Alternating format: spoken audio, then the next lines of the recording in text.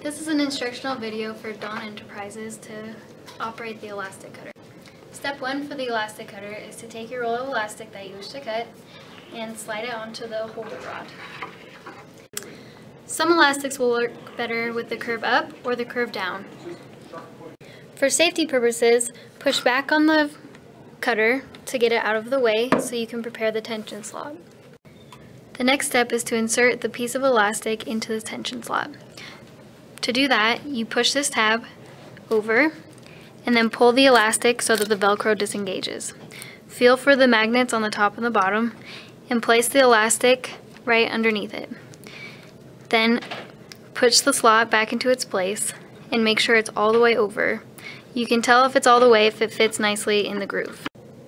Once the elastic is in the tension slot, pull it over a little bit so it's over the cutting mat. Next, replace the cutter into its home position. When the cutter is in its home position, the lift will engage the magnets and this piece will be out. To ensure that the first piece is measured correctly, take the lever and push down to cut the first piece of elastic. The next step is to set your length on the ramp. To do that, loosen these two screws and slide the stopper wherever you'd like. We'll set it to one foot.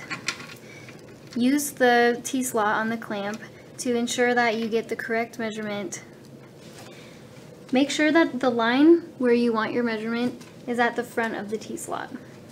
To go grab the elastic, push this handle forward to open up the bottom plate in the clamp. Push it along the track until you reach the end stopper. Once you're at the end of the track, pull back on the lever which secures the elastic and slide back all the way until this hits the stopper.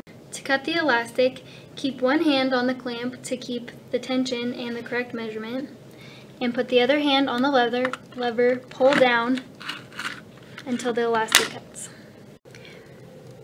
Open the clamp again to let the elastic fall into the slot where you can reach in the front and remove it.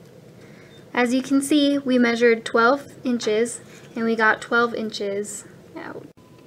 To cut the same piece of elastic again, repeat the process by pushing the clamp, grabbing, pulling to the stopper, and cutting.